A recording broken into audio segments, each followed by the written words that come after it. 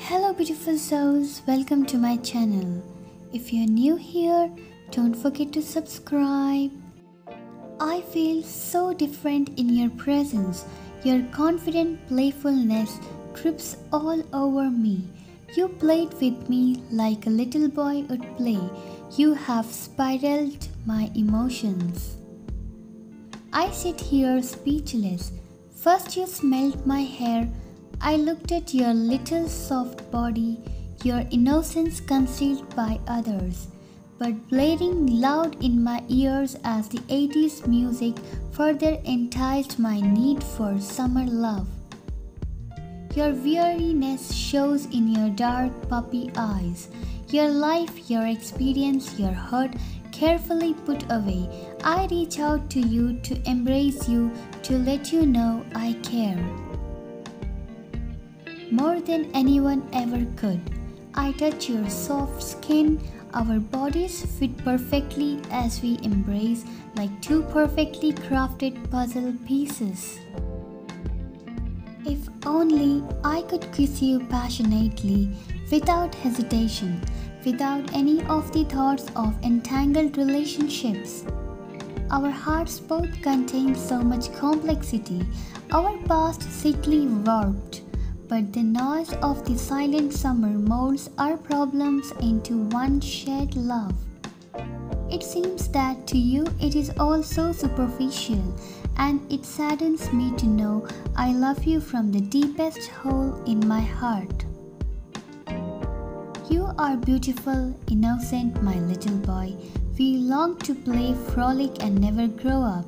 Yet we are drawn together by our soft lips, craving for fulfillment, longing to be held and loved. But do you really feel more? Do you hold that capacity to love as deeply as I do? No, you are just a little boy, but I am just as innocent, so maybe you do love me as I love you. Your summer love, I crave your innocence. Your pillow lips still linger on my neck. You have made me feel so giggly and bubbly inside. Perhaps I don't have to grow up. Perhaps this hope that you have given me can last a few months or until we see each other once again. I feel so happy, so passionate, so optimistic. How could you do that to me? What an incredible aura you give off, but perhaps I interpret your flirtatious gestures as more than they are. But you kept me to yourself. You took authority and told the swarming boys around me to leave me alone. For I belong to you, that's what you said. Your little hand dangled in the air, waiting for me to come to your side. Yes, you indicated your need for me. But there is that chance that you wish for something in the shallow waters. But whatever my contortions of your feelings may be, you have allowed me to dream of love once again.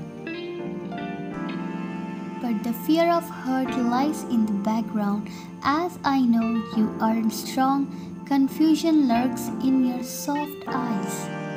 Despite your problems, I love you and you have made me feel truly overwhelmed, truly happy, truly full of wholeness and love. Let's snuggle. Smile with me, tickle me, and make me giggle. Thanks for watching. Please subscribe.